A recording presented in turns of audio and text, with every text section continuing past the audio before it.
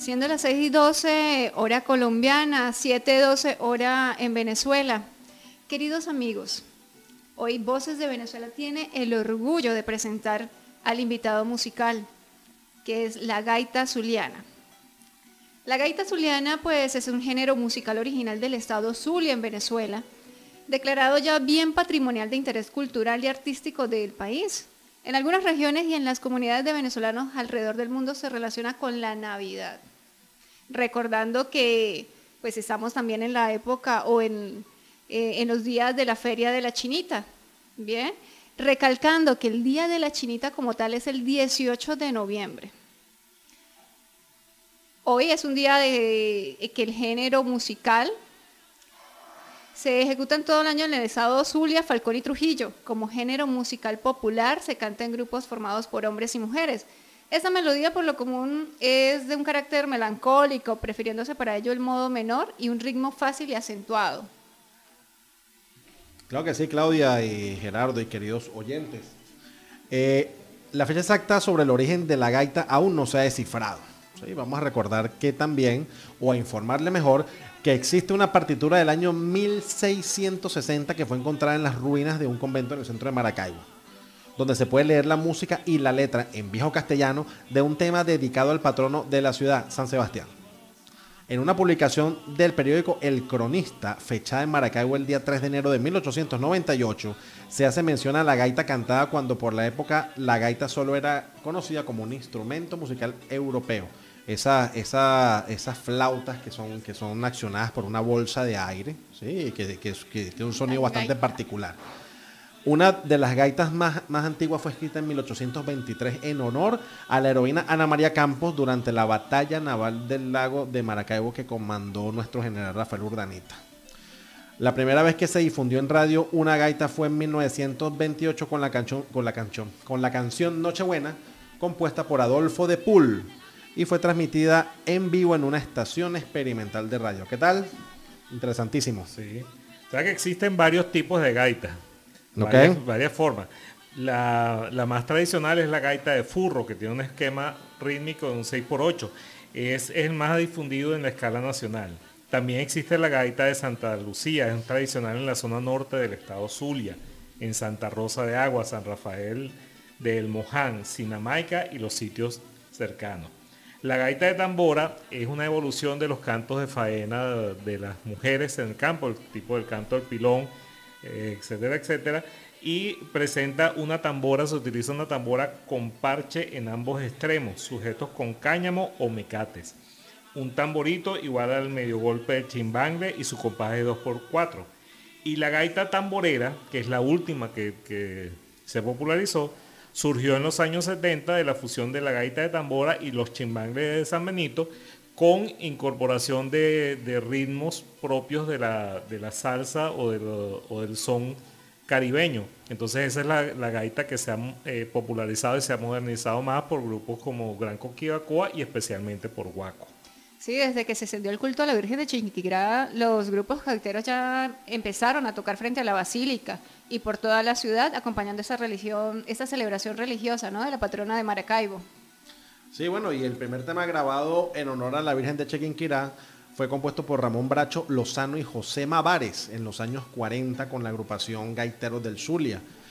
Es, es, también importante señalar que no existían solistas porque la gaita era cantada por el coro formado por los mismos músicos.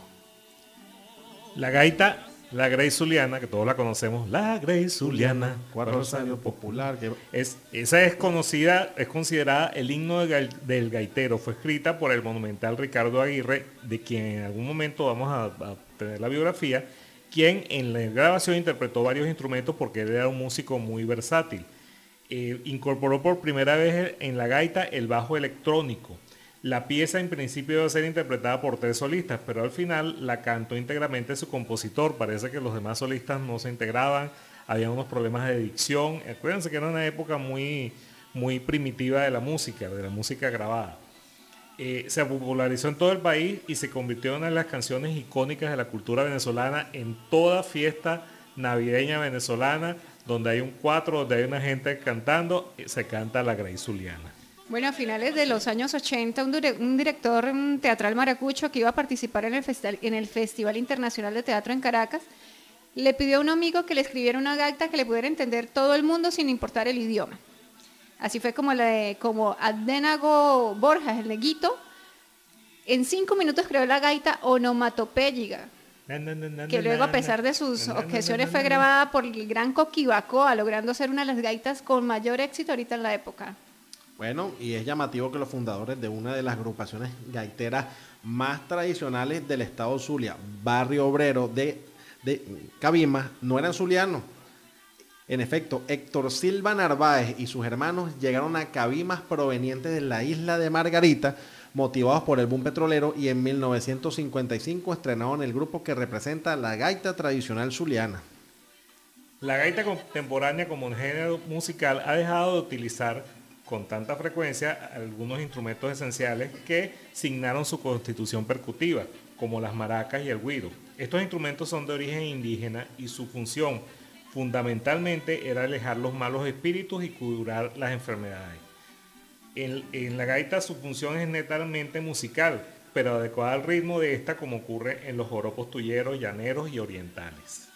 Bueno, eh, lo que motivó como tal el nacimiento de la gaita fueron sobre todo las protestas y los temas religiosos, ¿no? Eso fue lo que lo inspiró. Hay una anécdota en 1881 donde el párroco de Santa Lucía, José Tomás Urdaneta, expulsó a varios gaiteros de la iglesia por escribir cantar y, y cantar esos estribillos y versos algo burlones y chabacanos a la santa. Y pues supuestamente desde esa fecha fue cuando comenzó a expandirse abarcando todos los temas que hoy nos presentan como tal las gaitas. Bueno, claro que sí. El compositor Hugo Blanco, junto al humorista José Díaz, el popular Joselo, crearon y grabaron una gran cantidad de temas gaiteros con sentido humorístico que se hicieron parte esperada de la temporada decembrina de, de la década del 70, 80 y 90. Qué tiempo de aquello. Sí. Entre las piezas musicales gaiteras más reconocidas y que algunas hemos estado escuchando el día de hoy están Orinoco y Caracas de Rincón Morales. Ya las oímos, ¿no? Benítez para Maracaibo de Guaco, que la escuchamos. Viejo Año, La Moza y la popular Amparito del grupo Maracaibo 15. La Grey Zuliana y la Cabra Mocha del grupo Saladillo. Sentir Zuliano, que es la que dice cuando voy a Maracaibo empiezo a pasar el puente. Y El Negrito Fullero, grabado por los Cardenales del Éxito.